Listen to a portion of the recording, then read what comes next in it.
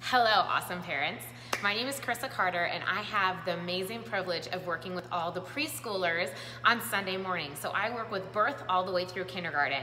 Now, I know that this is might be a hard time that we aren't gathering as a church and um, we may not be in physical contact with each other. But this is an amazing opportunity that you get to pour into your little ones right now and talk to them about what's happening. Now, weekly, what we normally do inside of the classroom is if they are twos all the way through kindergarten, we have a story time that a teacher is telling them live, okay? And then we also have a coloring page and a craft for them. And then we also have these worship songs that we play on a YouTube playlist so that they can worship in their own way with songs that they can relate to with Jesus and learn more about him at their level and become actually a Jesus follower at the end of the day. That is what we always hope. But what we have done is I have went ahead and put those resources available for you guys. So down below is some links that you can actually worship with your kids. You can see them do the actions to their worship songs that they used to do and they are used to doing in Hope Kids every single week, Hope Kids preschool area. You also have a link to a story video. And so you can listen to that story. It's only two minutes long on the story that we are doing this week is Jesus Calms the Storm. And I think that that is so pertinent to what is happening inside of the lives of all of these kids and even inside of you, um, what might be brewing inside of you as far as a storm. The other thing that I'm gonna have down below is actually they do memory verse, um, memory verses as well in this age. And so I'm gonna have videos, two actions to our memory verses so that you can do those with your kids at home. Again, this is just an amazing opportunity and time that you have that you get to pour into your kids.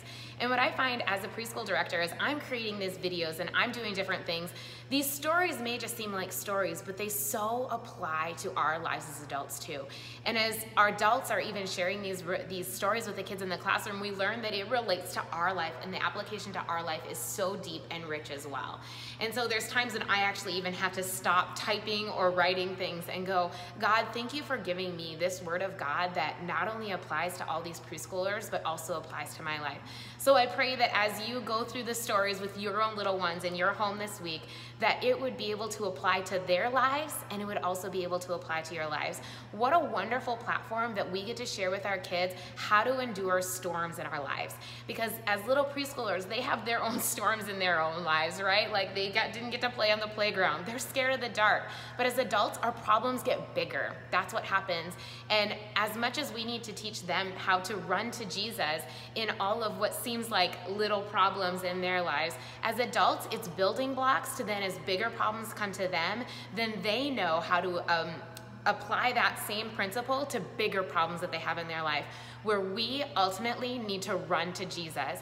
And Jesus also says in his word that we need to become like little children. So I pray that during this time we become like little children and we allow ourselves to sit in the lap of God and his arms just to wrap around us. Jesus is with us no matter where we are, whether we are in a church building or whether we are at home. God is there with us, and He is there with you and your children this week. So be encouraged and be blessed and love on your little ones.